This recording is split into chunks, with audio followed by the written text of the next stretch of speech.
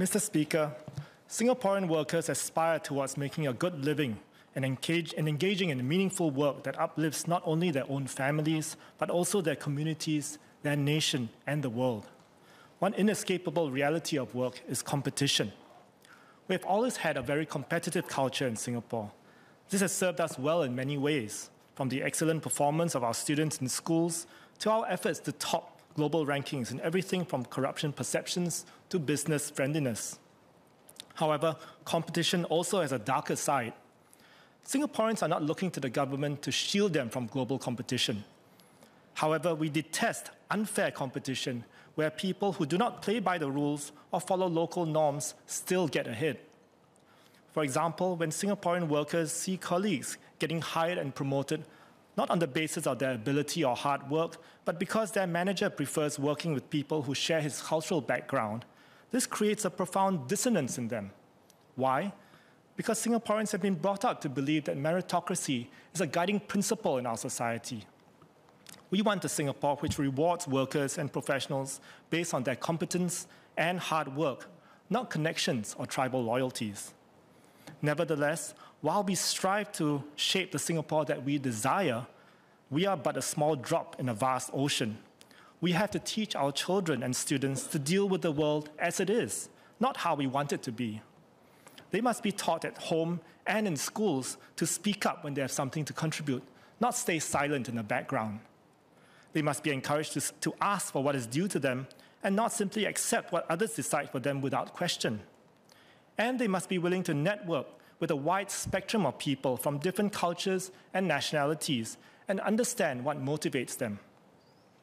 Singapore is often viewed as a nation of excellence. In local parlance, we do things sui sui. Give a Singaporean a task, and when they say they've done it, they, we can trust that it's been done well. We must never let this culture of excellence slip. It is our advantage in an increasingly competitive world. Artificial intelligence and robotics both have both burst into mainstream consciousness in recent years with the launch of generative AI and self-driving cars. These technologies could provide a path to boosting Singapore's productivity by enhancing the speed, accuracy, and efficiency of various tasks and processes. There are many studies of AI's measurable impact on productivity. For example, a joint study by BCG and Harvard found that consultants using GPT-4 completed 12% more business tasks, 25% more quickly, with 40% higher quality than a control group without AI access. These are amazing opportunities for Singapore to take advantage of. The government can spur a broader uptake of AI and robotics, not only for our scientists and businesses, but also for general purpose use by ordinary citizens. In November 2023, I asked about whether the government planned to develop indigenous capabilities in creating and deploying AI foundation models, including establishing a National Foundation Model Research Institute. In February 2024, I proposed the creation of a national AI healthcare foundation model, which can be used to predict and intervene in a broad spectrum of diseases. I would like to repeat these calls here. These are not just national initiatives, but possible precursors to greater regional scientific cooperation. Singapore needs the right institutions and opportunities in order to attract and retain the best minds, including talented Singaporean students, scientists, and entrepreneurs.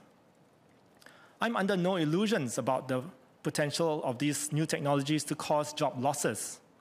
This is why in January 2024, I asked the government for its plans to proactively retrain workers who are at most risk of displacement from AI. We need interventions to steel our citizens against AI driven job redundancy.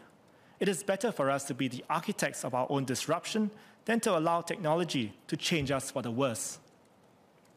It is tempting to pull out the old playbook of pouring money into training programs and encouraging workers to attend courses. However, this approach may not succeed in upskilling an entire workforce in disruptive new technologies. We must also embrace tacit learning through the use of hands-on through the hands-on use of AI and robotics. Tacit learning is learning by doing. Using AI tools or robots needs to be made as easy and as commonplace as Googling for answers on a web browser or operating a TV remote control. Robots should be deployed more widely in our environment so that the public gets used to seeing and using them every day. Giving every Singaporean hands on practice with AI and robotics will better ensure that the gains of these technologies go to everyone manual workers and knowledge workers, civil servants and entrepreneurs, MNCs and SMEs. SkillsFuture must also support tacit learning.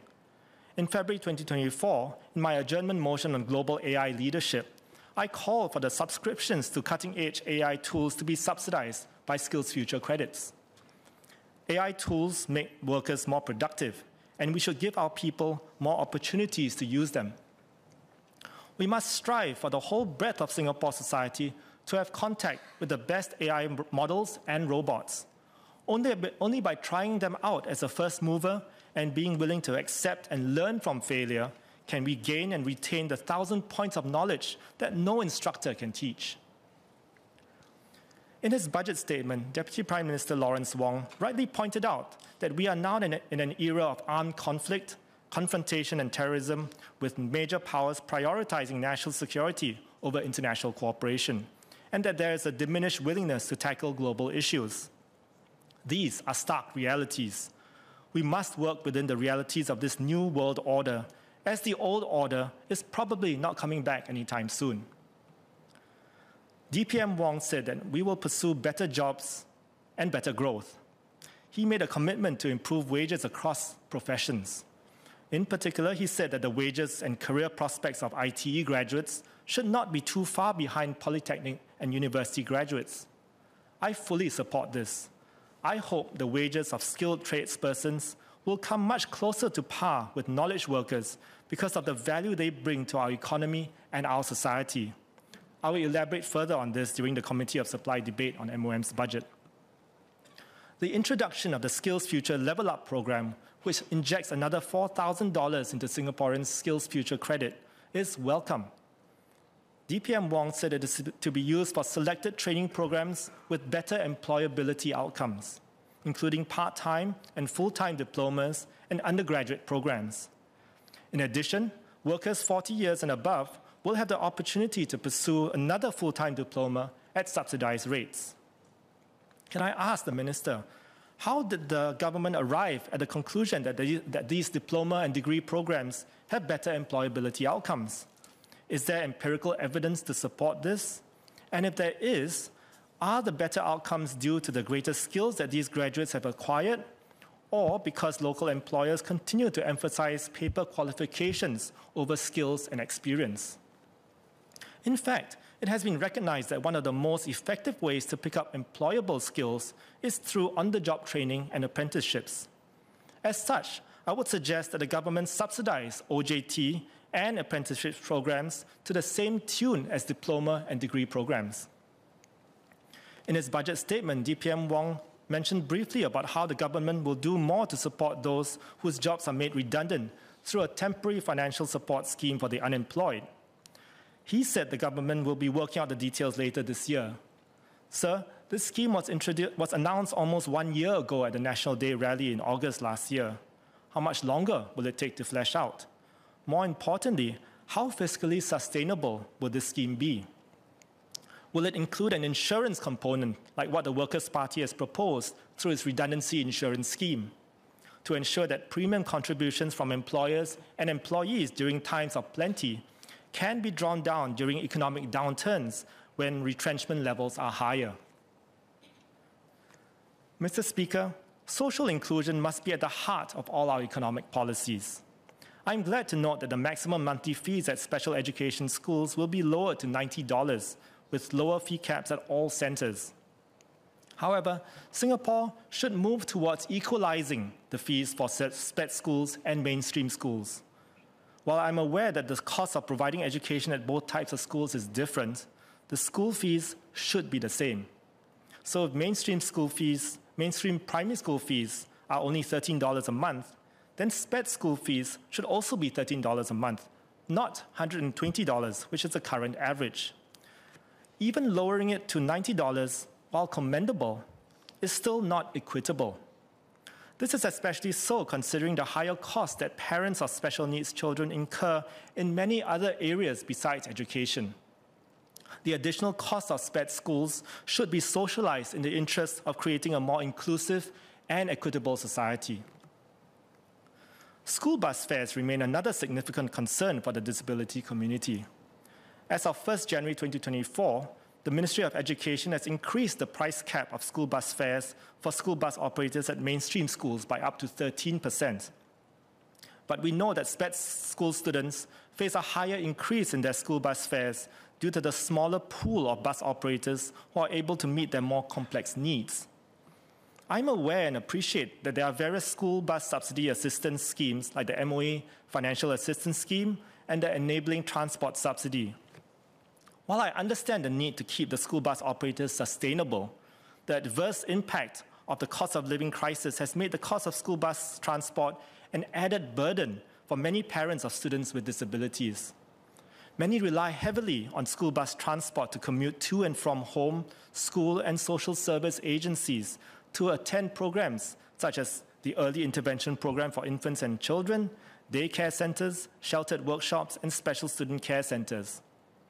Very often, there are additional costs involved. EPIC, for example, is a half day program, so the students also need to be ferried from their school to the program, creating a double whammy in transport costs. I would therefore like to call on the government to increase the monthly household income limit for both the FAS and ETS especially for households with special needs members. In addition, more subsidies can be provided to match the inflation of school bus fares. This would ensure that more families can access and benefit from these subsidies to cover the ever increasing cost of living.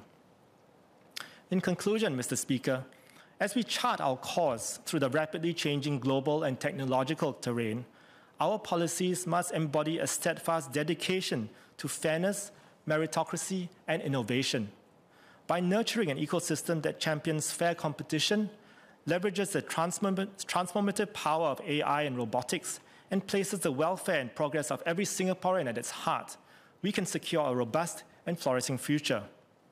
Let's remain committed to building a society where access to opportunities, a culture of excellence, and the value of each individual's contributions shape the Singaporean journey for generations to come. Sir, I support the motion.